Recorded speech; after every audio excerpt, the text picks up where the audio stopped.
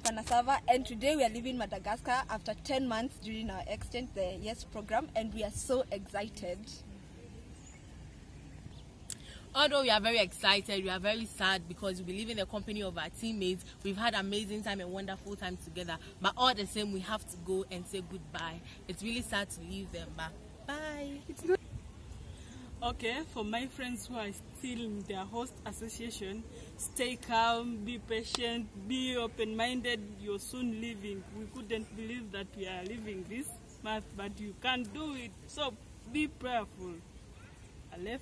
I would like to say thank you to the association, Panazava Association, our home countries coordinators, our program manager, Robina, and everyone who had put effort uh, to make us leave and go back home at this point. Thank you. Aleph. Aloha!